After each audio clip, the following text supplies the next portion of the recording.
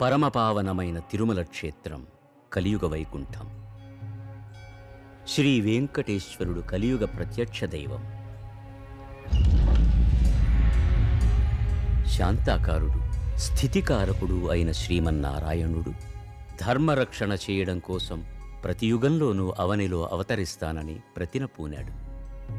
ఏ అవతారంలోనైనా ఆదినారాయణుడి అంశ మాత్రమే అవనికి తరలివస్తుంది. అసలు స్వామి వైకుంఠం వదలి కదలి రాడు. ఆ అంశారూపంతోనే త్రేతాయుగంలో శ్రీరామచంద్రుడై ఉద్భవించి ఉన్నత విలువలను ఉద్ధరించాడు. ద్వాపర యుగంలో శ్రీకృష్ణుడై అవతరించి ఉపనిషత్తుల సారమైన భగవద్గీతను ఉపదేశించి వెళ్ళాడు. కానీ కలియుగంలో మాత్రం ఆర్తజనులను ఆదుకోవడానికి అందరి మొక్కులు తీర్చడానికి వైకుంఠాన్ని వదలి స్వస్వరూపంతో స్వశరీరంతో తరలివచ్చి తిరుమల శిఖరాలలో సాక్షాత్కరించాడు. అందుకే తిరుమల కలియుగ వైకుంఠమై కళలు చిలుకుతోంది. ఈ అడుగడుగు దండాల వాడిని ఆపద మొక్కుల వాడిని ఆశ్రయించి తరించిన భక్తులకు కొదవే లేదు. అలాంటి భక్తులలో అగ్రగణ్యుడైన ఓ మహాభక్తుడి పవిత్ర చరిత్రకు చిత్రరూపమే. ఓం నమో వెంకటేశ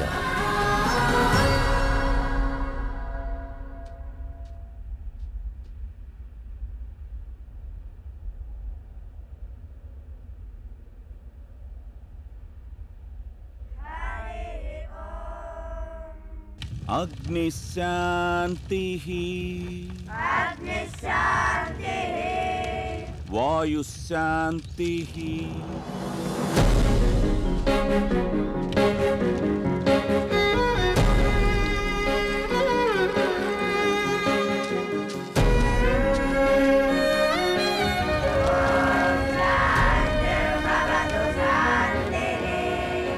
शुभमस्तु। గురుదేవా? రామనామధేయ అహంబో అభివాదయే. ఆయుష్మాన్ భవ వేదమా ఉపనిషత్తుల పురాణాల ఇతిహాసాల. ఏం చదువు దేవుణ్ణి చూపించే చదువు. ఆ చదువున్న మీ బల్లో? ఏమన్నా? దేవుణ్ణి చూపించే చదువా? హద్దిర ఈ అనుభవానంద స్వామినిలా అడిగిన మొట్టమొదటి వాడివి నువ్వే. రామ దేవుణ్ణి చూడటానికి ఏ చదువు అక్కర్లేదు. కానీ ఆ దేవుడే నీ ముందొచ్చి నిలబడితే అతడే దేవుడు అని తెలుసుకోవడానికి చదువుకోవాలి. అది నేర్పుతా. మాతృదేవో భవ పితృదేవో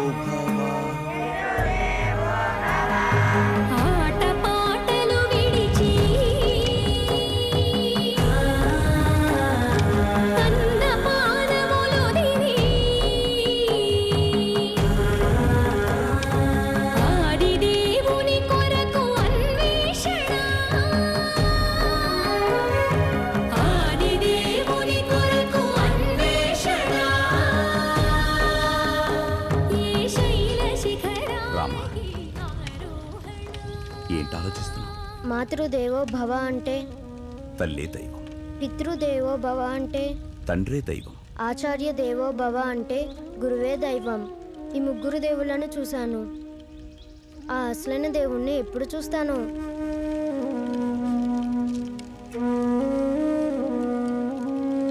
పద చెప్తాను ఈ సృష్టే ఒక ఆట. ఆ ఆటకు మూలం ఈ ఆట. ఈ పావులు జీవులు. ఈ పాచికలు కర్మలు. ఆడేవాడు ఆడించేవాడు ఆ దేవుడు. నువ్వు ముందు ఈ ఆట నేర్చుకో. నేర్చుకుంటే దేవుడు కనపడతాడా. ముందు ముందు ఆ దేవుడితో ఆడ్డానికి పనికొస్తుంది.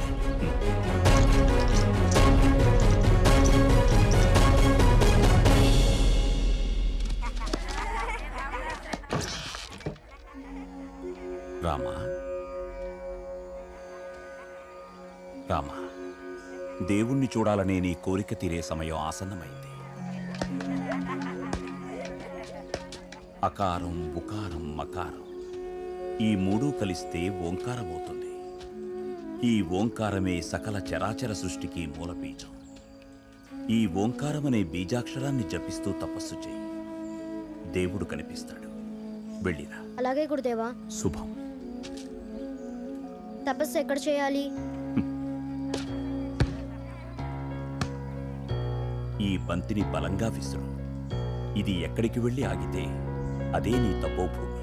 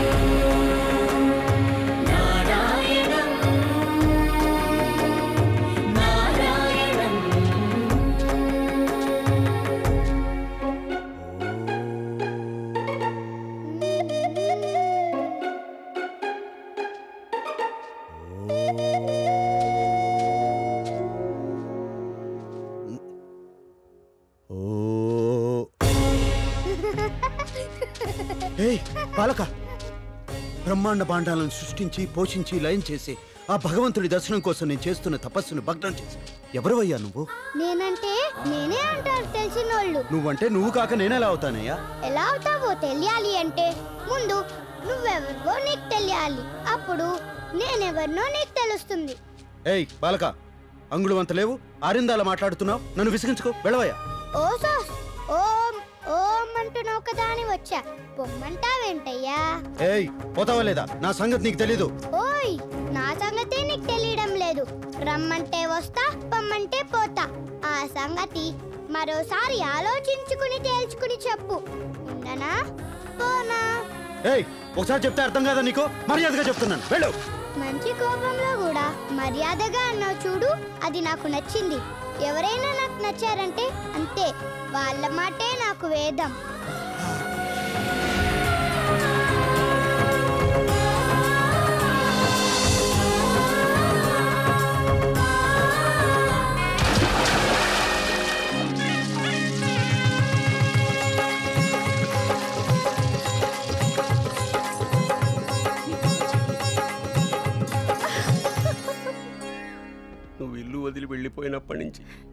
ఈ క్షణం దాకా రామా రామా రామా అంటూ మీ అమ్మ గుండె ఎంత కొట్టుకులాడిందో. ఇప్పుడు అవన్నీ ఎందుకులేండి? బిడ్డ కడుపు నిండా భోంచేసి ఎన్ని రోజులు అయిందో ఏమో. ముందు ఆ సంగతి చెవిటినివ్వండి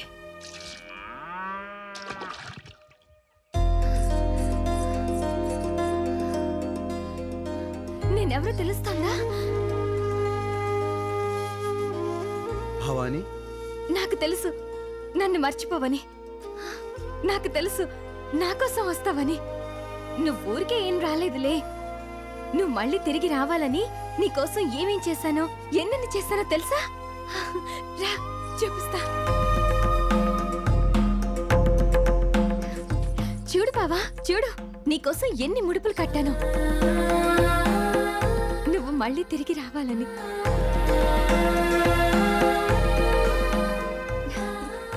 ప్రతిరోజు నాగదేవతకి పాలు పోసాను. నీ చేయి పట్టుకుని నడిచే రోజు రావాలని. ప్రతిరోజు నూట ఎనిమిది పొల్లు దండాలు పెట్టాను. నోములు నోచాను. ఉపవాసాలున్నాను. నిప్పుల గుండంలో నడిచాను. ప్రతి శుక్రవారం లక్ష ఒత్తులు వెలిగించాను. నువ్వు నువ్వు తిరిగి వచ్చినందుకు నాకు చాలా సంతోషంగా ఉంది. నా దీక్ష ఫలించింది. నిన్ను రప్పించుకున్నాను. నీ దీక్ష ఫలించింది. నేనొచ్చాను. దీక్ష ఫలించలేదు. దేవుణ్ణి చూడకుండానే వచ్చేసాను రామా పెళ్ళికి ఏర్పాటు చేస్తున్నాం సరే అనరా. మీ ఇష్టం. పెళ్ళి కూతురు ఎవరో తెలుసా? భవానీ. మీ ఇష్టం. అక్క అక్క నీకు చిన్ని శుభవార్త చెప్తా. నాకేమిస్తావు? చిట్టి ముద్దిస్తా. నీకు రామాకి పెళ్ళంట. చిన్న ముద్దు కాదు. పెద్ద ముద్దిస్తా.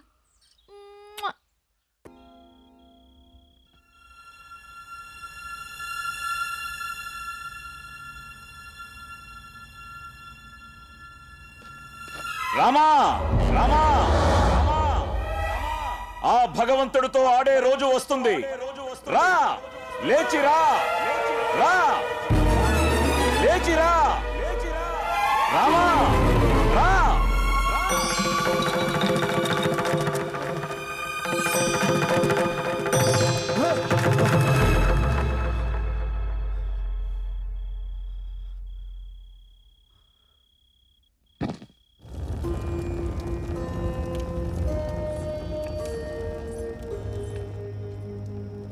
భవానీ నీ పూజలతో నోములతో వ్రతాలతో ఆ దేవుణ్ణి మెప్పించి నన్ను రప్పించుకున్నావు.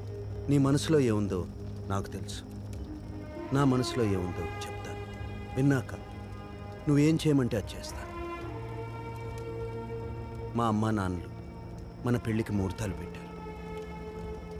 నా మనసు మాత్రం ఆ దేవుణ్ణి ఎప్పుడు చూస్తానా అని కలవరిస్తుంది. ఏం చేయమంటావో చెప్పు. అర్థమైంది. నాతో కళ్యాణం అయితే అందరిలాగా సంసారం చేస్తావు. అదే దేవుణ్ణి చూడగలిగితే లోక కళ్యాణం జరుగుతుంది. నువ్వు లోక కళ్యాణం కోసమే పుట్టావు. ఆ మార్గంలోనే వెళ్ళు.